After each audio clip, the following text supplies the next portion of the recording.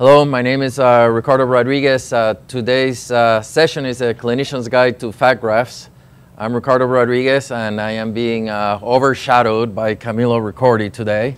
Uh, um, let me uh, just start out here by saying I'm the president of IFATS this year for 2016, and I invite you all to the IFATS conference in in San Diego in November. It's the one conference where the whole topic of study is uh, fat cells and regeneration. And uh, I encourage you to submit papers and uh, to go there. It's a great conference. I go there every year. Anyway, so you might be wondering, uh, why do we have a plastic surgeon here? We just had another two plastic surgeons before. Now you got me again talking to you. Um, you know, plasticos, the name of plasticos is a Greek word, says ca capable of being shaped or molded. And we refer to it as tissues, and, you know, it, it's a, a, confluence of interest because uh, cellular biologists are interested in the same thing, how, ce how cells are shaped and molded and can change their function or how we can manipulate them to do something. So we have um, a, a common interest in at least an outlook of how we uh, look at things, and we are natural allies in this thing, and we just haven't communicated enough. And I think that as we get down in the processing of fat and get more and more to the cellular level, we'll find that common ground and work together and find uh, new solutions. So uh, what you're seeing here on the left, that's Thomas Krizek. He was the founder of plastic surgery at uh, Yale University, which is where I trained. And uh, he said a lot of things, but a lot of great things. One of the ones that I liked was um, I should like to be a surgeon who could make wings. And to build wings, one must learn to see wings. And I think that that's really appropriate to, uh, as we start entering into regenerative medicine, in order to be able to deploy to its fullest, we have to really envisage new things and things we want to do. And what you're seeing on the right is the Yale Bulldog and uh, he's sporting a Tagliacozzi flap. It's uh, the oldest flap known to the Western world. Uh, essentially, you would take skin from the forearm, elevate it on a pedicle, stick it to your nose, put it on the defect on the nose, and it would vascularize. The, the, the native tissue would vascularize the flap. They would form a vascular bridge. Then you would cut it at the root and set it into the nose, and that was your uh, nasal reconstruction. Uh, 10 to 12 days later, you, you know, section the graft, inset it, and that was your nasal reconstruction. Um, it has been used for at least 2,800 years that we know of. It was used by the Indians. Uh, it was in this textbook. It's actually described. It's the um, it's it's the uh, Sushruta Samhita. It's a it's a medical textbook from about six to 800 BC, and they were already using it. But uh, after a while, religious uh, uh, cultural changes in India made it uh, an undesirable profession because it was in contact with blood and pus. So uh, development on that stopped. It was given to the lowest case, the untouchables. So the knowledge was not transmitted by people who could write. It was just performed by illiterates. So that knowledge was lost for like 2,400 years. Then uh, the Italians uh, rediscovered it, and that's Tagliacozzi uh, who made that drawing and uh, popularized the uh, technique, even though he himself was not a surgeon. Um,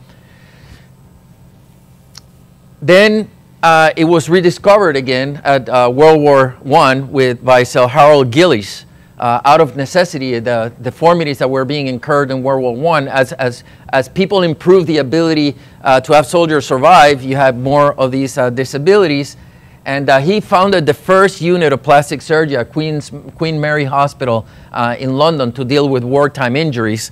And uh, he discovered this uh, flap, the, this uh, what's called later the gull wing flap from the forehead down to here. But his key insight was, and he made it into a, um, a saying, is plastic surgery is the uneasy marriage between beauty and blood supply. And that really motored plastic surgery uh, evolution up to now. It's, we were really keyed in on finding out the blood supply, optimizing it, designing flaps all around the concept of the uh, blood supply. And plastic surgeons, the way we think is, you know, when we see a defect, um, we, we, we make ourselves a, a, set of priorities as to how to reconstruct it. The first is secondary intention, and that has an old traditional history. Ambroise Paré in the 18th century said, uh, uh, je l'ai pensé, Dieu le guérit, which means, you know, I dressed it, God healed it. And that was the body doing its own regeneration and healing it. Then we came up with a primary closure, the wound was ready. And if the wound was dirty or it had any kind of contaminated thing, it was a delayed primary closure. I trained at a very uh, uh, warlike uh, hospital in Louisiana, Charity Hospital. And when a patient, for example, came in with an infected uh, foot amputation, we used to do what's called an ice tourniquet. We used to just tourniquet the leg off so that uh, blood flow was cut off completely to the distal leg way to stabilize the patient, get their sugar normal, get him in good medical condition, and then do a clean amputation, and it worked. And that was, you know, another old theory. The other thing that we used to do was uh, tissue grafts. Uh, we used to try to fill in defects, but that was that never really took wings except for for superficial coverage, a skin graft or a full thickness skin graft. And again, the thinner the skin graft, the better the blood supply to all layers of the tissue, so the better the survival. So that was another aphorism. The thinner the graft, the better the take. So, but when, de when defects, as defects became um, more complex, you needed to develop these flaps. And, and that was what Harold Gillies did. He developed these flaps for these complex injuries. And the first flap is they're called random flaps. And they're classified in terms of uh, complexity. And a random flap is, for example, if you take this map of the vasculature, it's just drawn in like that with no describable blood supply. And it just really depends on the blood supply, on the capillary density of the area. And since some areas of the body have greater capillary densities, some flaps uh, have more reliability or you can make them longer than they were wide, etc. Then people started figuring out that you could do an axial flap following an individual blood vessel. And you could make those flaps very long as you included the all the blood vessel with it. And then finally, once they started developing these longer flaps with a described blood vessel, the next intellectual leap saying was, well, let's just take the blood vessel itself with the tissue attached to it, and then we'll attach it somewhere else. And that was called a free flap. Okay? And the free flap really uh, unleashed uh, the imagination for two reasons uh, first of all, was we could take more and more complex hunks of tissue from different parts of the body remotely and in one setting in the operating room, use it in a new uh, field. But it allows us for the first time to treat all these, uh, uh we could deliver blood supply to an area of PPP, and PPP is piss poor protoplasm. And what we were doing was we were bringing new blood supply new tissue to an area to heal it. So we could take big radiation burns. People like this used to uh, die of what's called carotid blowout. The radiated tissue here right on top of the carotid would die. They would exsanguinate within seconds in the unit. Now we were able to treat those. Then uh, we could treat uh, huge open complex wounds with osteomyelitis in them. We're putting muscle from the belly with skin and covering it and actually treating the osteomyelitis. And things such as electrical burn with complex injuries like this, which would have meant a proximal amputation, all of a sudden we could save limbs. So that was the era of the 70s when I came into uh, plastic surgery, and, and that was really a, a, romantic and beautiful thing to me that we could take areas of the body and put them somewhere else and take bone and repurpose it. And it, it was very inspiring. And, uh, you know, you could, this is a, one example. Uh, uh, a tissue from the abdomen, which you isolate on its blood vessel. And even though it's abdominal tissue, now you can build a breast with it. And you can build it with tissue from the abdomen and really, really beautiful reconstructions. Not only that, but then we could take like real big disasters, like big, huge uh, tissue defects, and again, harvest these enormous amounts of tissue and, and uh, to heal the uh, defect. And you know, uh, uh, uh, plastic surgery saying, uh, another one of the aphorisms is you're robbing Peter to pay Paul without making Paul complain too much. And, but at some point, Paul runs out of money. And he just can't handle it, and the donor defect's too big. And so Ian Taylor came up with this concept of what's called um, angiosomes. And you could take a complete vascular territory including bone and the muscle overlying and the skin overlying it. It became really sophisticated, big, complicated flaps. And that was what I, I think that that's the, almost the apex of development of the free flap area when we get these huge chunks of tissue. The problem is that sometimes the donor can't take it. Okay, so that led to the next uh, uh, uh, plateau of development in, in, in that approach to delivering the blood supply, which is delivering the blood supply intact with the surrounding tissue. And that was the allo uh, transplantation of huge units of tissue with everything included in it, functional tissues. And, and this is from the NYU uh, case of facial transplant. And uh, it, it, was captained uh, by Ed Rodriguez, no relation of mine, who actually did his first face transplant at, um, at Hopkins, where, which is, you know, I practice in Baltimore. And uh, so, you know, that requires huge teams of people. And it's for one case. So, for example, this is a team involved in the facial transplant uh, at, um, at NYU. So it's got all kinds of specialists, immunologists, infectious disease, all sorts of medical specialties. So it's a very capital intensive resource for very rare cases. So in a sense, to me, this whole approach is now almost like an exotic flower. It's beautiful, it's amazing, it's one of the most beautiful things I've ever seen, but not really applicable to my practice, okay, or to anything I do. So we come back to the reconstructive ladder and we come to the thing, one of the things that have been discredited before. Sure, the th uh, split thickness and the full thickness grafts were a mainstay, but there was another one that had a really bad name, fat. It was considered unreliable. It was considered a bad graft. And I tried it in my residency. We used to think that if we carry some of the fat with some of the dermis, it'll take better but really it, it never really worked the way I wanted it to. Some people could make it work, but fat had a bad reputation. And as a matter of fact, the American Society of Plastic Surgeons in 1987 put out a position paper saying, don't do fat grafts, it's a bad thing. Now, this is the institutional body of plastic surgery saying that. So when I talk about this man, Sydney Coleman, is with the greatest admiration. This guy was alone in New York in his little clinic, and he was working with fat grafts and saying, I can make something out of this. And, and really, we owe a lot of what we do uh, today uh, to him. And his analysis of the fat grafting was long-term survival of fat, fat transplants, controlled demonstration. So he was just trying to show that you could transplant fat. Not only could it survive, it could hold its volume for some time. So he starts doing that. And some people that listen to his uh, conferences and all that, they agree with him. They start doing it sotto voce, like the Italians would say, and uh, do a little bit here, a little bit there. But it slowly started getting uh, impetus. Okay? And um, what people started noticing was all these other weird stuff. And, and, I, and I am putting this article here. This is Ian Jackson. He was a craniofacial surgeon. And he was at a conference, you know, all these little chichi plastic surgeons they go skiing together and there's like very high academic ones and they put out this case of this woman with this old rhabdomyosarcoma 20 years ago as one of these difficult cases that they put in their brain trust. And Ian Jackson said, even though he's a Korean craniofacial surgeon, well, I'll just do some lipo and do some lipo transfers. And it worked.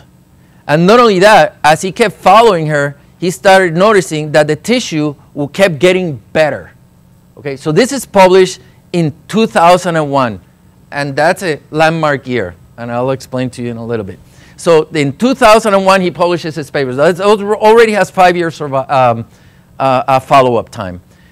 A few years later, Sydney Coleman himself publishes this article. This guy, another guy with a radiation to the jaw after another uh, tumor. And he also noticed the quality in the tissue, the change in elasticity. So in other words, it wasn't just a filling of the volume, it was a changing character of the tissue that had happened. So Sydney Coleman's genius was to break down the whole process of fat grafting into process engineering. And what he said was the reason all these other guys are having mixed results and everybody's having mixed results is everybody's doing it this way and that way a different way, but the way you do it really counts and it's really important. And there's a lot of steps to it. It's like a computer program. You can follow all the instructions. You miss one instruction, it doesn't run or it runs fast or it gives you a bug, whatever. So his theory was that if you could deliver these little pearls that were small enough so that the body could fully vascularize the pearl or that was uh, exposed to the general circulation, your fat would survive and it wouldn't lose volume and it wouldn't cause you problems and it wouldn't cause uh, inflammation. So the steps involved are quite a few, and these can even be broken down. But for example, the cannula. The cannula is important. Uh, what kind of pressure you take it out is important.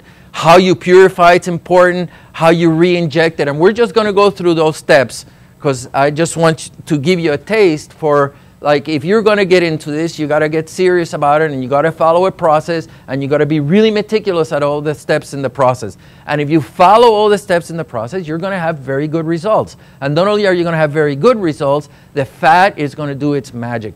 Okay? So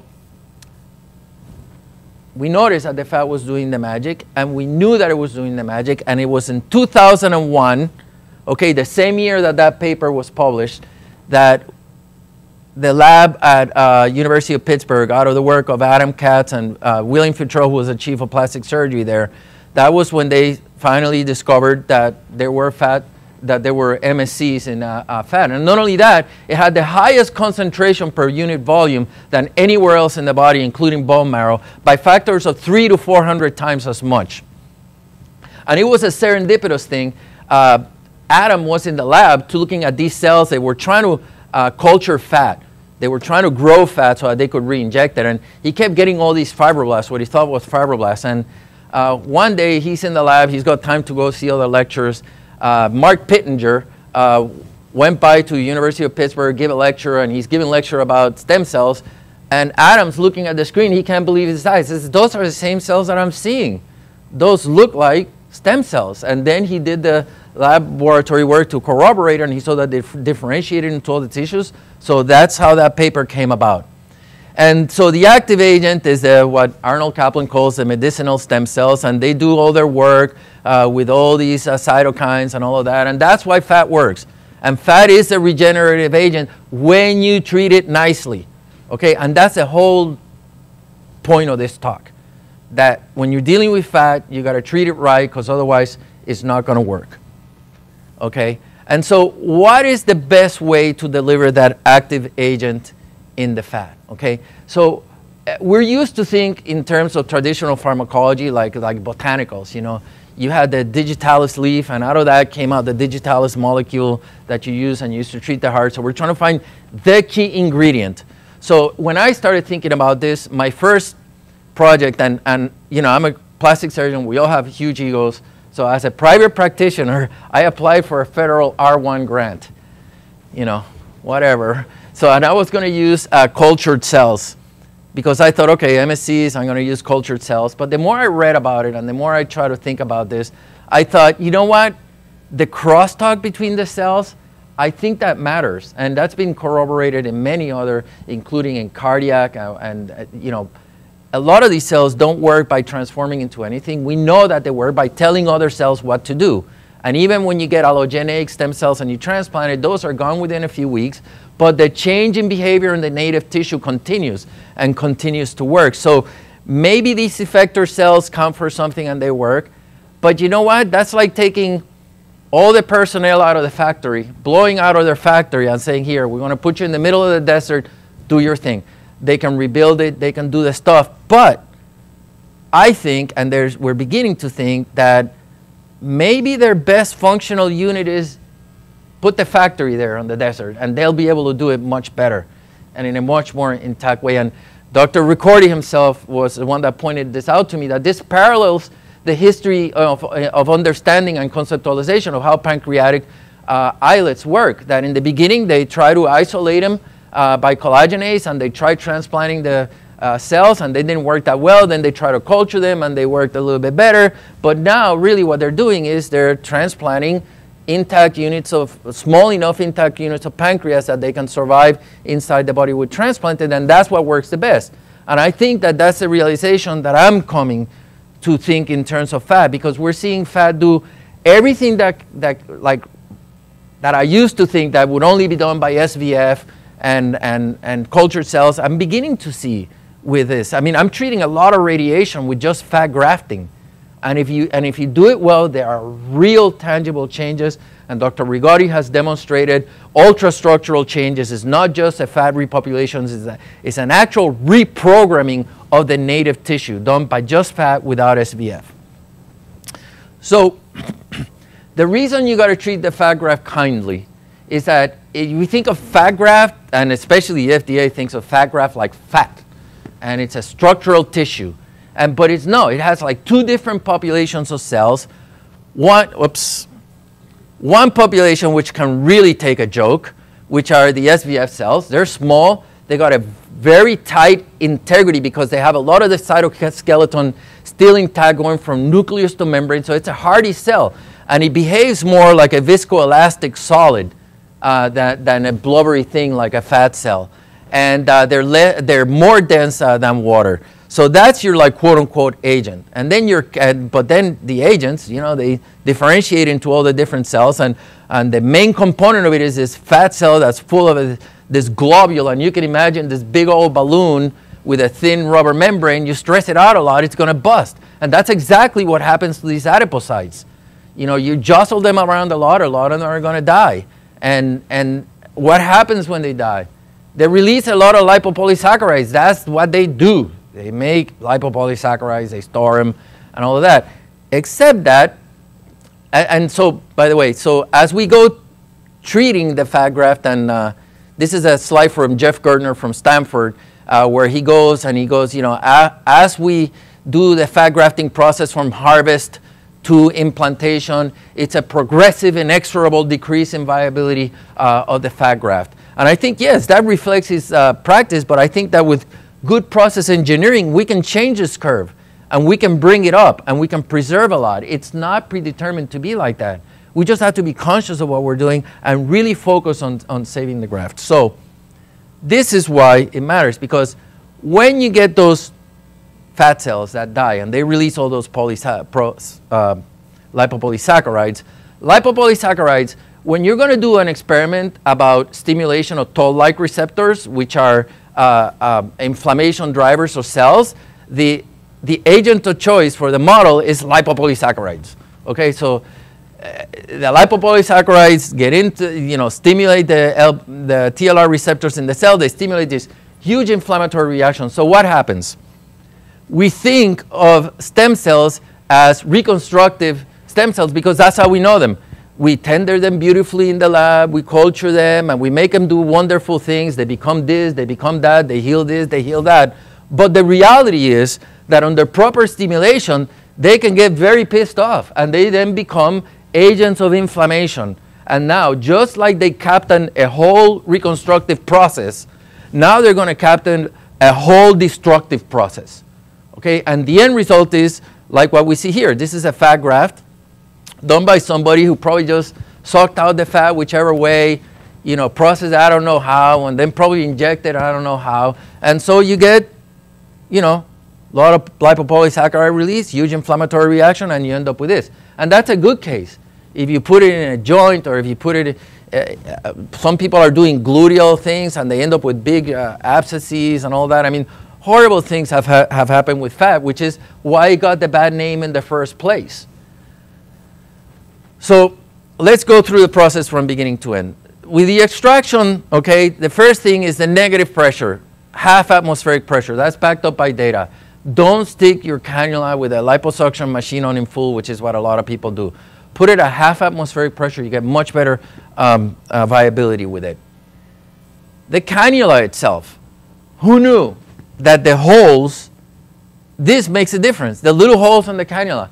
And the, nobody's, when, when, I look at, when I'm going to buy cannulas now and I buy, they'll have the diameter of the cannula listed and they have the length of the cannula. They don't even tell you the size of the holes.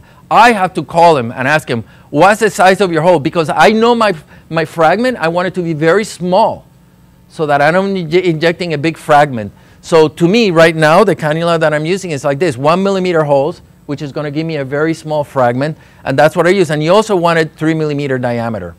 Now, this cannula I'm showing here is very interesting because this cannula, that particular configuration, for whatever reason, and we don't really understand why, gives you the best yield as far as number of SVF cells per gram of tissue. Even compared with the same type of hole in a 4 millimeter diameter, this one gives you the best yield. And I think that, as we will see later in the, in the talk, I, I will use this when I'm going to be using other type, other equipment. So the next one is how we purify. Decantation, I'm only mentioning it to say don't do it. Okay, decantation alone is not going to get rid of a lot of the inflammatory cytokines. The minute you stick that cannula and you start shoving it back and forth, it says injury. And when you get injury, the first thing you do, all the alarm bells goes off, inflammation, kill the bad guys, and then after we kill all the bad guys, then we start rebuilding and we do the nice things. So you get a lot of those inflammatory cytokines in there. So doing that is not going to be enough the next thing you can do is wash it. Wash away all that junk, okay? And you're going to get a better uh, um, uh, product. And this is the device I've worked a lot with. It's uh, from a company named GID. And inside has a paddle to trap fibrinous debris and all that. They call it debris. I think that's extracellular matrix. I like the extracellular matrix, so I don't like taking it off. Um, but anyways, it just washes it. It has a mesh to get rid of the oils and all that. This is a good thing, okay? The nice thing uh, about it for somebody who doesn't do a lot of fat grafting is that it's a system. You don't think about it too much. You get it. You get a good, clean product. The next is centrifugation. This is uh, one of Sydney Coleman's biggest uh, contributions was we were centrifuging the cells.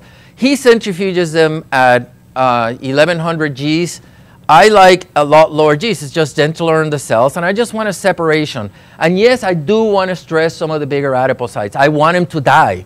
They're big. They're not going to do me any good. They've reached the end of their life. I don't want them bust up. I don't care. They go off to the top as an oil layer, and I can eliminate that. And then I eliminate the infiltrating fluid layer, and I'm left with a very clean, what we call a fat cake okay? And when you start getting more proficient at this, then you know that the lower part of the fat cake is more SVF rich because since it's denser, because it has a higher proportion of the smaller cells and the bigger cells. So when you want precision in some parts of the face, uh, where you want really tight control of volume and all that, then you'll use the, what's called the, the, the heavier part of the fat cake. Then we go to reinjection. I'm putting a picture of this. These guns, don't use them. Okay, this is like the worst possible combination. First of all, you have a very small caliber syringe, so the, the force and pressure is really magnified. And then on top of that, as if that were not enough, then you get mechanical advantage with a lever. So you're like, I'm going to kill this cell. That's what I'm going to do. And then I'm going to inject it. Okay? So don't use that. The other thing is, after you got that little clump of fat, you got to stick it through a needle. And people like don't think.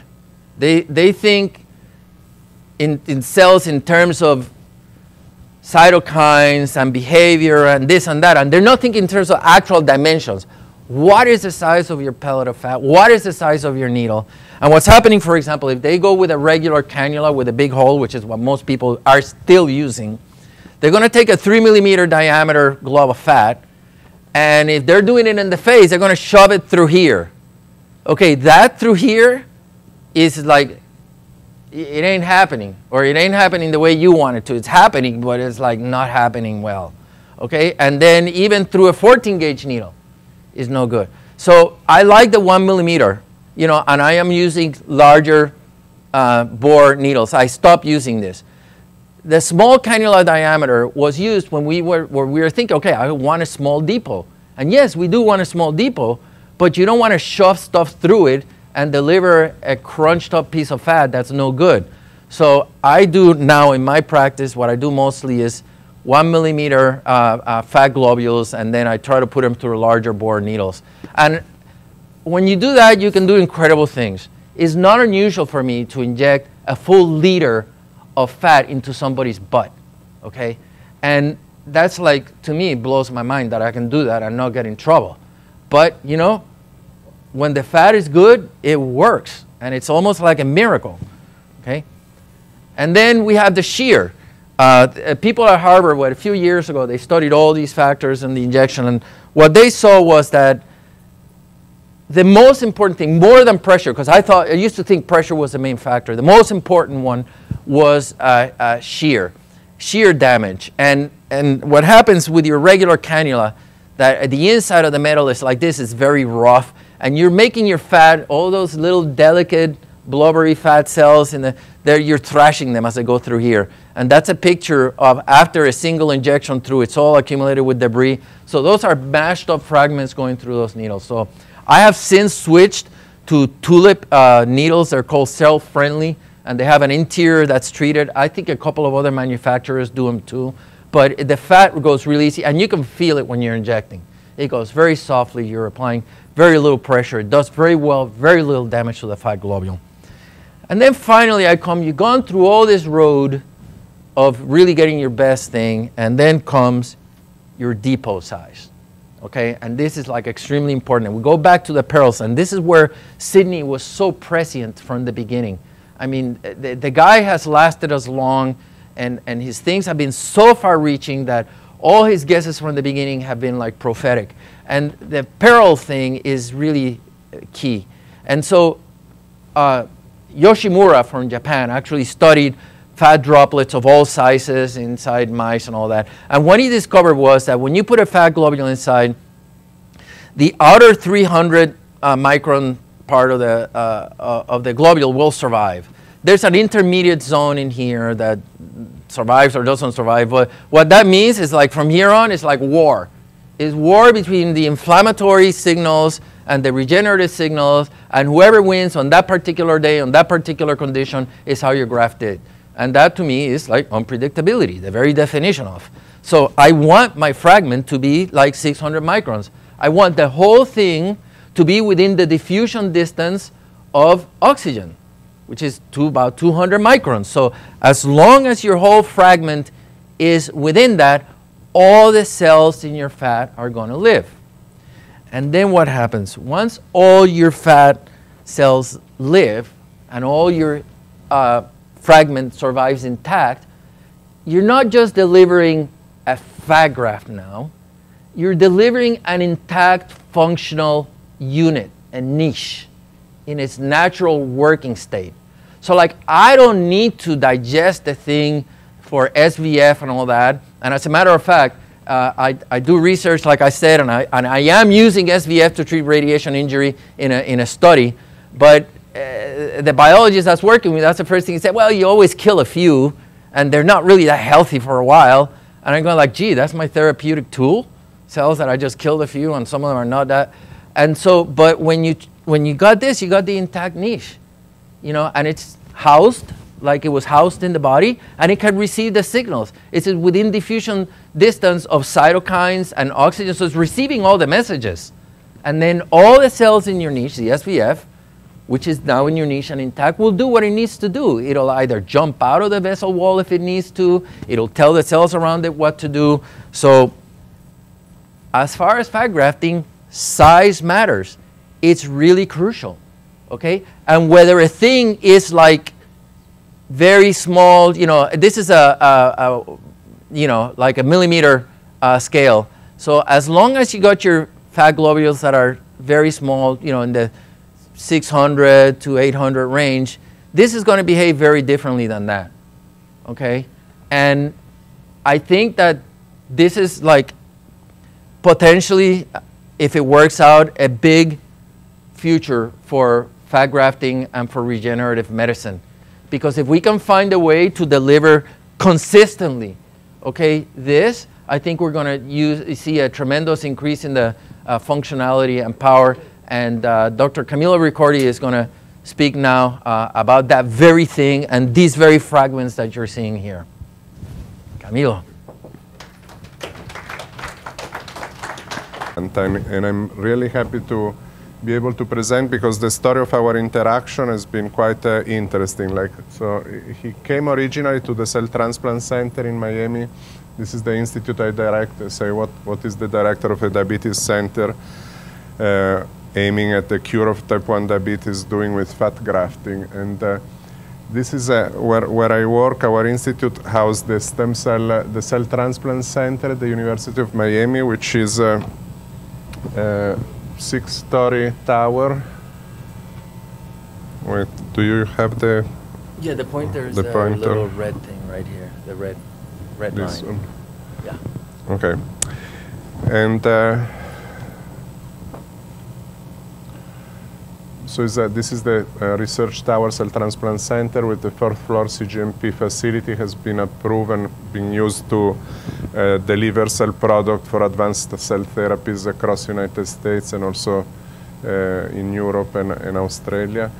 Uh, I will not, uh, if you're interested in the field, you can check out this open access uh, article that is very good reading material if you suffer of insomnia, has 400 reference and tells you the whole story of islet transplantation and processing in the last 25 years.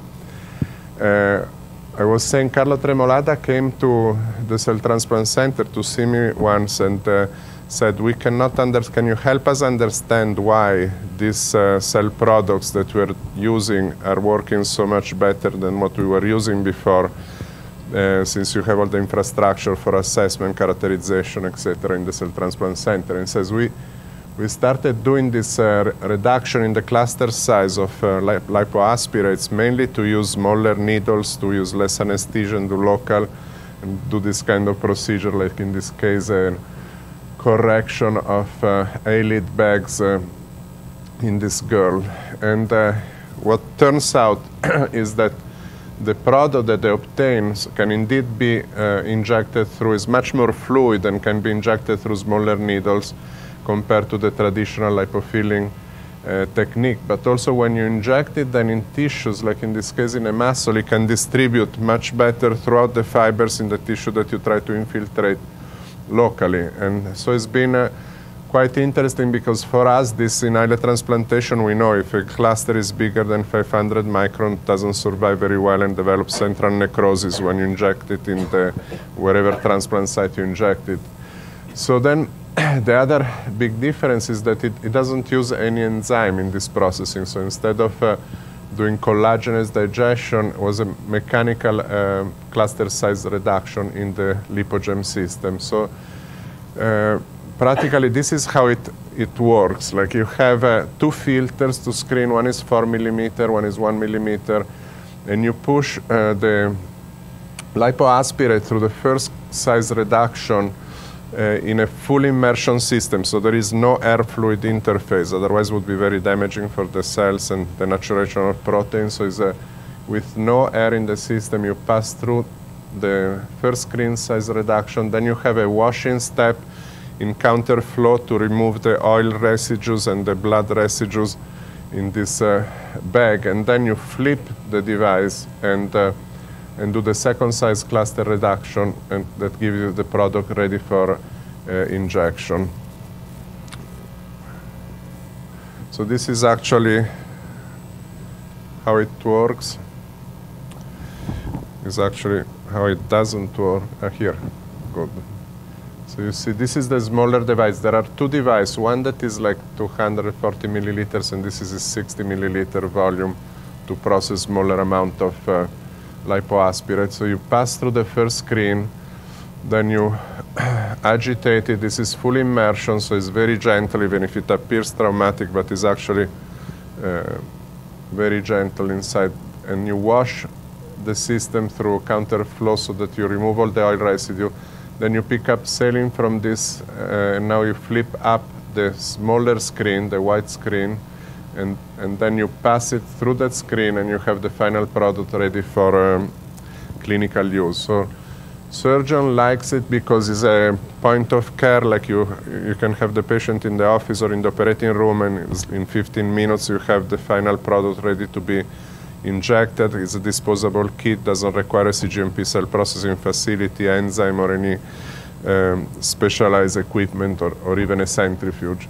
And if you look at confocal microscopy at these uh, clusters, you immediately can appreciate that besides the adipocytes, you have this network of cells that are not fat cells, that is the stromal vascular fraction, pericytes, uh, MSC, what have been then uh, characterized. And as you know, uh, Bruno Péault and Arnold Caplan has been working a lot on this hypothesis on, on pericytes, how they could be the component in this fat grafting that could be triggered and activated by inflammation or tissue injury and then uh, derive mesenchymal stem cell and activated the mesenchymal stem cell. So the proposed sequence is that these pericytes when they sense tissue injury or if they are pre-activated by mechanical process, they could then uh, generate MSC and regenerative effect of the MSCs. which as you know can be both immunomodulatory but also anti-apoptotic, anti-scarring, angiogenic, mitotic, and antimicrobial. So this is uh, one of the lipogem cluster. If you actually put these clusters in culture, you can derive uh, expanded mesenchymal stem cells uh, like for advanced cell therapy products, like you would do expansion of MSCs from bone marrow or other product. But the interesting thing that is uh, our hypothesis now is that for many clinical applications, it's much better to inject actually the preserved niche where the cells are, because then when you put them in vivo, they can do this job and start activating and proliferating, but without having to go to an advanced cell product at start. So you remain in minimally manipulated tissue transfer, autologous tissue, and uh, hopefully with much less regulatory requirements. You can uh, expand though these cells in culture if you want, just plating the microcluster and then fresh culture cells give you this profile of, uh, of CD markers and cryopreserved. They're maintaining cryopreserved and thawed cell culture, so there is the possibility to cryopreserve and thaw the product. And uh, interestingly, these are uh, data from Bruno Péault, UCLA, uh, the pericyte component of the lipogem, 73.3%, is much uh, higher than the uh, one observed in lipoaspirates or in whole fat at the, at the beginning of the process. So the, the theory now, the hypothesis is that the native microenvironment is very important and maintaining this adipose niche that preserve the pericytes, MSCs, and the stromal vascular fraction in their, in their microenvironment, in the native microenvironment may be, may be very important.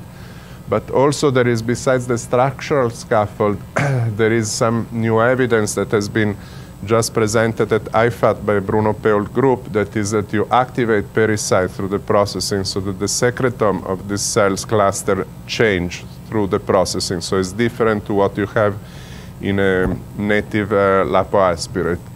And uh, this has been presented, it's not published yet, but in summary, what they saw that the culture appeared to secrete more cytokine and angiokine that it's digested equivalent if you use enzymes. And uh, we also have novel data that will be published soon on the proteomic and secretome of the, of the lipogem product. So the regulatory pathway now that has been approved in Europe, in the USA, as 510K, China, Australia, and other countries. And there have been a lot of uh, clinical cases performed, over 5,000 uh, as of June 2015, mainly in Europe, but now also in, in, in other continents with uh, a very positive, good safety profile and uh, many different applications from uh, radiotherapy, breast phase, vocal cord incontinence, colorectal, uh, steroid-induced bone necrosis, diabetic ulcers and wounds, and non-healing non fractures. This uh, is an example of a Charcot foot in a, in a subject that uh, uh, was unable to walk and now is working very well, It's, is walking so well that it's going uphill vertically and perpendicular to the, to the picture, as you can see. So this is the proof that is an amazing, amazing results. Yeah. Try to do that. I don't know why. On a Mac, it is on the right side. On the PC, it goes uphill. Uh, there are more planned clinical trials uh, from the cancer treatment of Center of America to determine the effect on reversal of radiation injury in selected clinical settings. And uh, uh, this is a case of uh, vocal cord reconstruction. Testa destra. Lunedì, martedì, mercoledì, This is before. giovedì. And this is after one week. La parte. Lunedì, martedì, mercoledì, Means Monday giovedì, to- venerdì, sabato e domenica. And this was one month after. So this allowed to do vocal cord reconstruction Lunedì, martedì, mercoledì, giovedì, using a very little, um, very fine needle in local anesthesia bec- because of the fluidity of the product. So these are other application. It, it- everything started from a plastic maxillofacial reconstructive surgery. This is an hemifacial atrophy correction that they uh, did, and uh, and also has been then exploring more and more um, regenerative uh, application besides plastic and maxillofacial surgery. Some of the most interesting results have been obtained in anal incontinency. Uh, I don't have time to go through all the details, but this is the, the procedure practically, uh, and these are the results as far as uh, uh, quality of, of life score, but also manometry and Wexner incontinence score. And what you see, like if you inject just mesenchymal stem cells or single cells, generally you, you relapse within months. At six months, you may be uh, back to where you are at the beginning. So the interesting thing with this product is that for two years is maintaining function and is maintaining uh, manometric also pressures, which I don't have here. So this is uh, the imaging intraoperative, three months, six months, and at 12 months it seems to reconstruct part of the sphincter anatomy uh, with uh, increasing pressure values that rest in, in squeeze after treatment and uh, the endoanal ultrasound, ultrasound confirmed the improvements. So the, the regenerative effect uh, observed appear initially as an anti-inflammatory and analgesics within the first three days, and then later you have this progressive effect on skin, muscle, cartilage, and bone that appears after a minimum of four weeks and continue to improve for many months, usually well beyond uh, one year. So there is a, a, slow but continuous chronic effect of these um, uh, products. So there is a, uh, what the surgeon observed is you have no swelling and bruising and immediate return to social life, so that is very appreciated by patients. This is a, I will not show it to you because it's a very disgusting video, but it's a on eyelids technique, but uh, it shows how, how little is actually the injury non-invasive the procedure is, and this is the patient uh, I showed before with the eyelid bag treatment and uh, after the procedure, this is one week post-op in this male subject. And these are other applications in orthognathic surgery, reduce swelling and improve healing. This was published in Cellar 4 recently. these are uh, bone regeneration in difficult cases of oral surgery applications. Uh, this is a Professor Benzin in Italy that started using LipoGem for these applications, and uh, I will not go through the detail, but had full restoration and ability to rebuild the bone and implants. So it appears that there is an increased osteogenic potential when you use li lipogems in bone application in orthopedic for reconstruction of bones.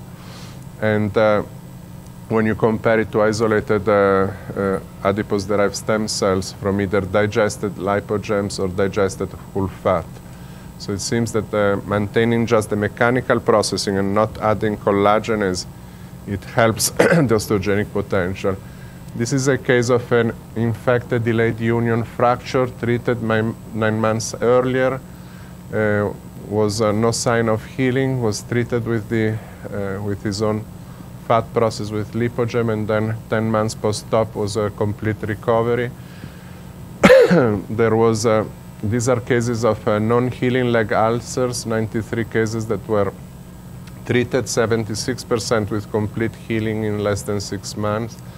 And this was an, an actually an animal experiment, a preclinical experiment that I recommended not to do because it's complete ligation of femoral artery and div division of the femoral artery, and it says, how can you inject lipogem and save the limb? There is no time to even develop collateral circulation with such an acute intervention. But to, to our surprise, if you inject locally just at the site of uh, femoral artery injury, we were able to recover the muscle and avoid the atrophy that follows instead if you inject just saline.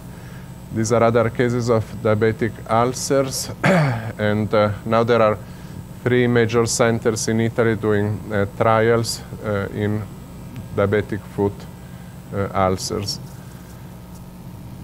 Why stuck?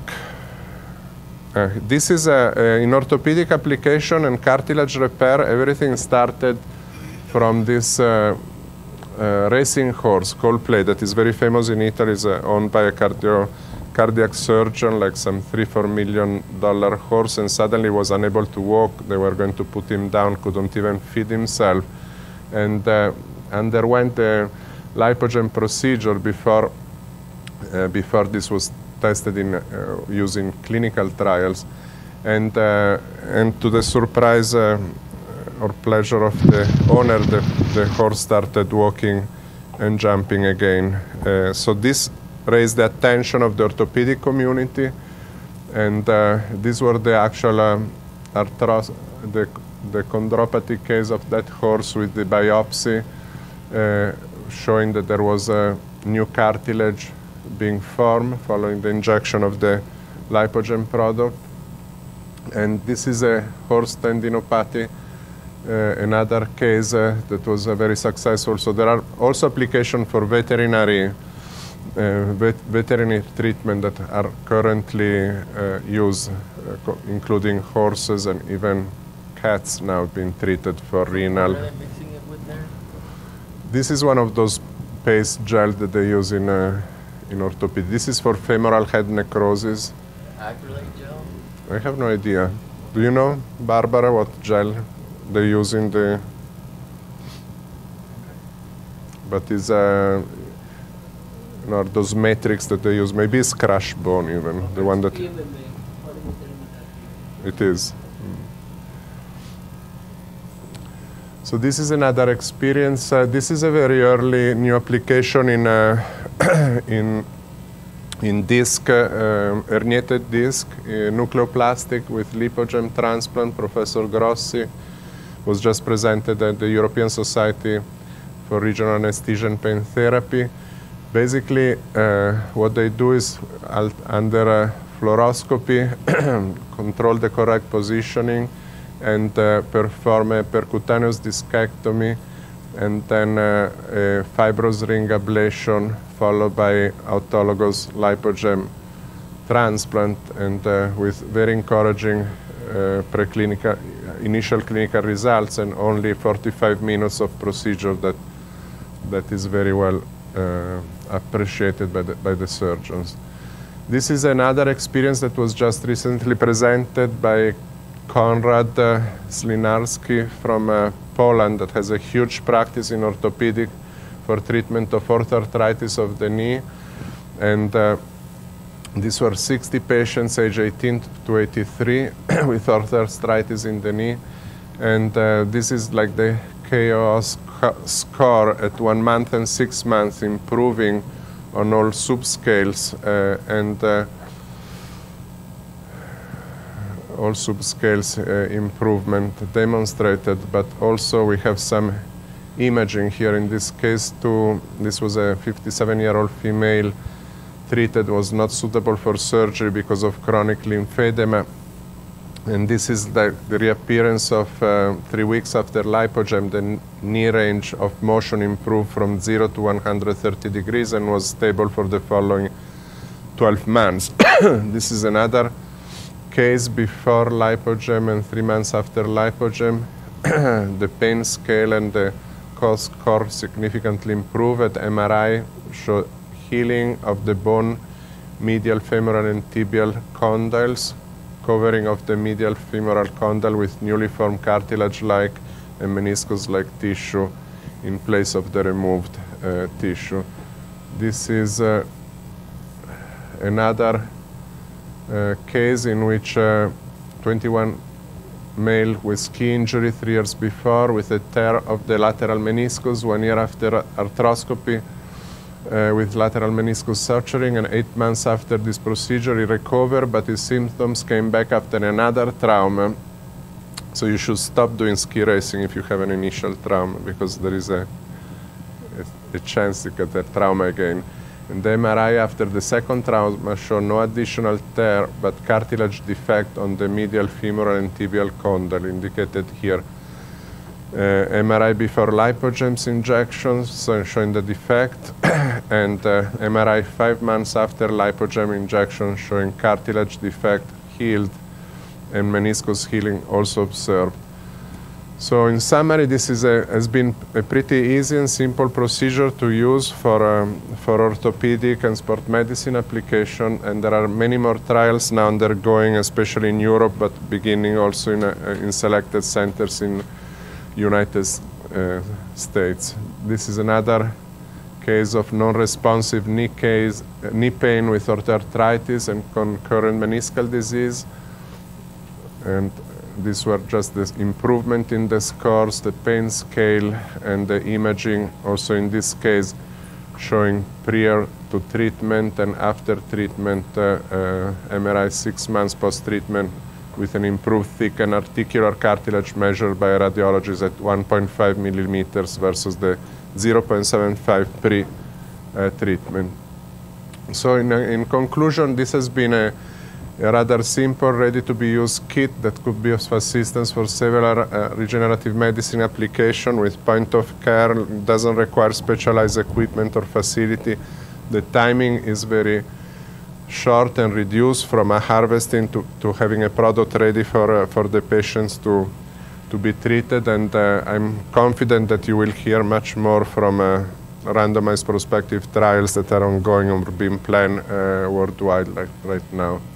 So thank you for your attention. Thanks. I was, yeah, just to comment uh, on the on the pancreas uh, issue. We actually use collagenase. The, the the change in the pancreas was from going from single cell dispersion and purification of beta cells that didn't work to to keep the niche and the islets intact as a microorgan that is up to 500 microns and can contain 1,000 to 2,000 cells but it's not to inject microfragments of uh, pancreas. So it's a, it's a quite different processing with the chamber that we process the pancreas. The screen is to retain the undigested tissue while you have a collagenase and another protease enzyme uh, mixture or, or, enzyme blend that progressively disassemble the pancreas from the duct system from the exocrine. So it's, a, it's quite different, but a lot of the concepts are similar because you maintain the niche. We don't use centrifugation anymore. You settle the islets before transplanting to avoid uh, uh, stress and injury. So, and there is a lot of attention doing everything in a complete closed system, avoiding air fluid interface, so that uh, some of the tricks from the islets have been useful also for fat processing.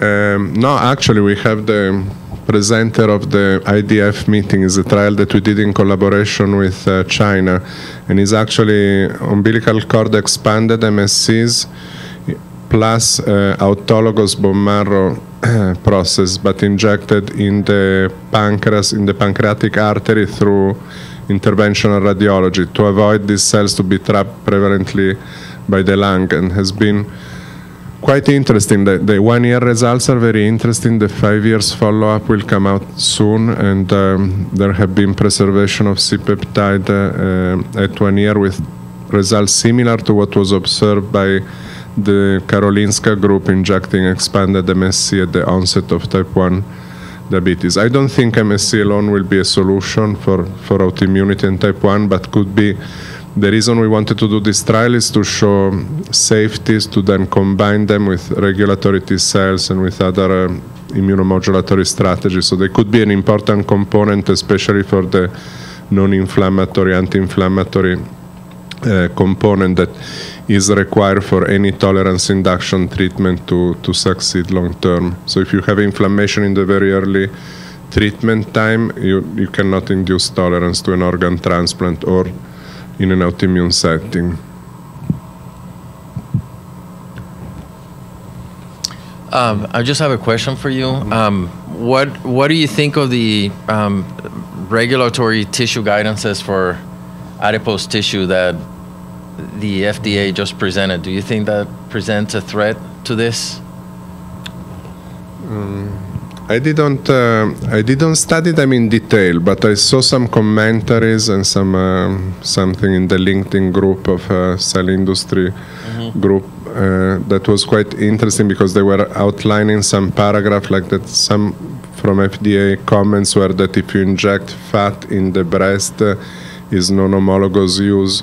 Because you're supposed to have ductal tissue that produce milk in the breast and not fat And uh, I think that is a dangerous slippery slope, and I, I wish and I hope that FDA will stay out of tissue, autologous tissue grafting, because then you can make everything FDA. Then I would want to see why not a liver transplant or any organ that you transplant in an ectopic place. If you transplant the pancreas in the iliac space instead of a, it's not even draining through the portal system, it's going systemic insulin delivery, then that is not an homologous use, should be treated as an advanced cell therapy. But if you let regulatory agency alone without feedback and proper, you know, let's be reasonable. There is already so much complexity in the regulatory system that if you start uh, making your life uh, uphill and hitting walls everywhere, including autologous, minimally manipulated fat tissue, is like um, would be a disaster. Personal opinion. All right. Well, thanks everybody for attending, and uh, hope you have a nice meeting.